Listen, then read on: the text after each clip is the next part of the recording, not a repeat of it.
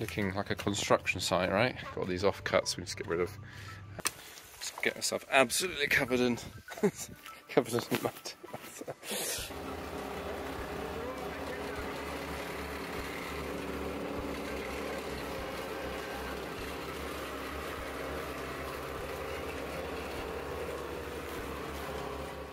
So heard us just running the machine, but I think the it's pretty fine.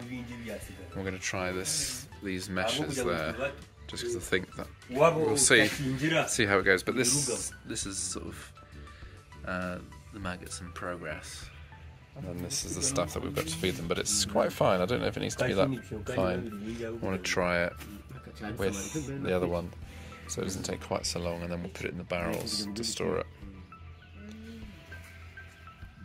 It's pretty good. So I thought I'd show you the maggots growing. I can find them. Yeah, there we go. See them all wriggling around.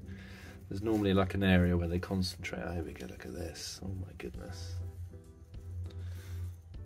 There's a lot of maggots in here, which is good. So they're definitely consuming all the substrate. Um, we've got these screens for the rats or rodents, I should say. Um,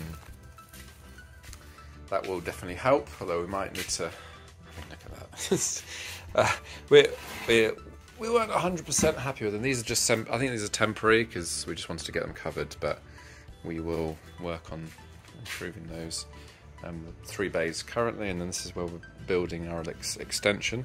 Um, it's still setting a bit, it's a sort of rough base layer. Then we'll add some three more bays at least three more bays to that site, which would be good. It'll be slightly longer, I think, just so we can increase the height. Because currently this is uh, 27 centimeters from there to there, so up to this point it's 27 centimeters.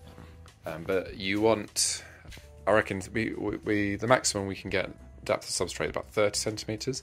Any lower than that, then the water starts to accumulate at the bottom. You get carbon dioxide, less oxygen, that type of thing. Um, but we want the lip to be sort of maybe 35 and then you don't fill it all the way to the top of the lip um, just so you can get the most substrate in. But yeah, it looks okay. Um, happy enough. Good the machine works and looking like a construction site, right? Got these offcuts we need to get rid of. Um, and then the polytunnel. I can almost imagine what it's going to look like. They've put the, I noticed this, they've put the sort of step here as well. So we've got some bricks around another door type of thing. So yeah, it's working alright.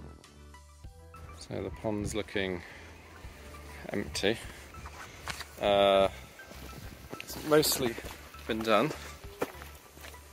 Just get myself absolutely covered in covered in mud.